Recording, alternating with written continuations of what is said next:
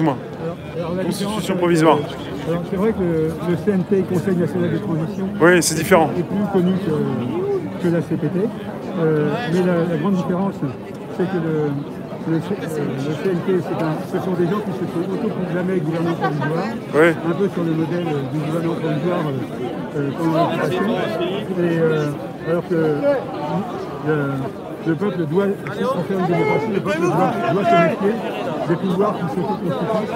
Euh, et la constitution de transition, c'est une constitution qui ne nomme aucune personne précisément, Oui. mais c'est une copie dont le peuple peut se saisir faire sa démocratie. Merci. Tu, tu- tu- tu peux leur donner ton prénom? Oui, alors Noël. Emmanuel.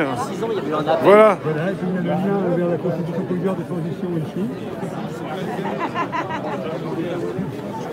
Je te remercie. C'est moi, c'est moi qui te remercie. Continue à faire du bon boulot. Merci. Et au revoir. Elle va pas trop loin.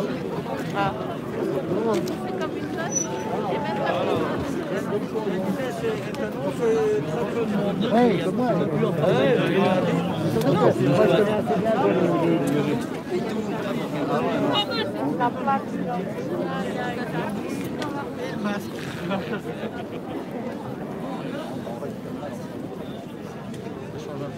Oui, voilà.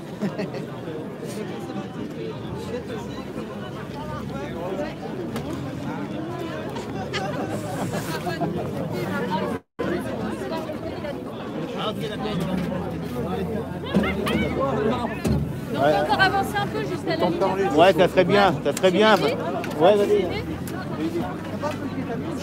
Ça va toi?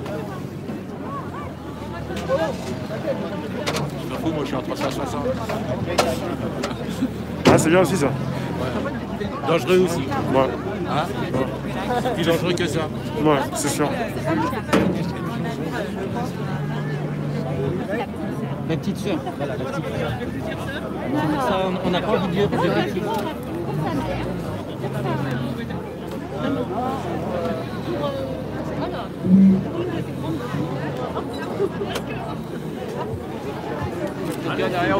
S'il vous plaît, s'il vous plaît, on va tous passer derrière la banderole de manière qu'on passe sur le pont d'Iéna avec la banderole en premier.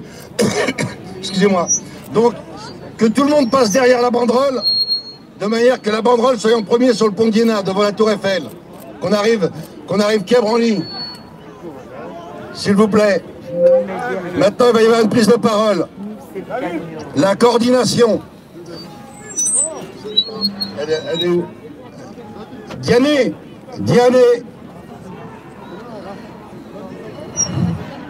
Il est où Diané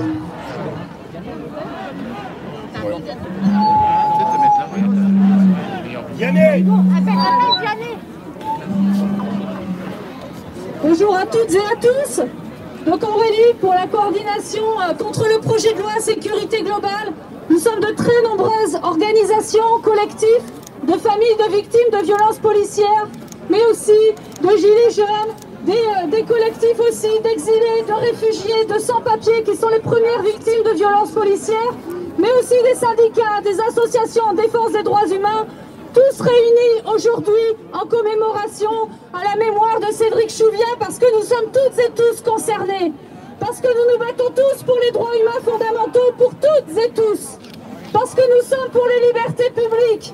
Parce que nous savons que ce projet de loi sur la sécurité globale, c'est non seulement cet article qui va rendre quasiment impossible, ou en tout cas très gravement puni le fait de filmer, alors que c'est le seul moyen, la seule défense qu'il y a aujourd'hui dans le cas de Cédric Chouviat pour rendre justice.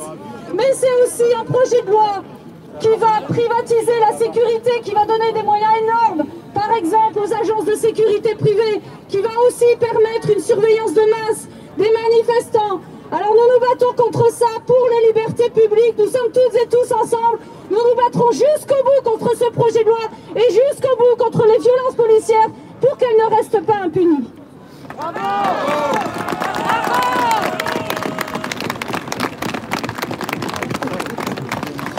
Bonjour, Malik Salancourt, je suis le président de la Ligue des droits de l'homme. Merci à la famille Chouvia d'être là. Merci de nous avoir réunis. Parce que nous avons un hommage à lui rendre. Parce que son combat est juste. Parce que nous sommes ici pour dire qu'il n'y a personne au-dessus des lois.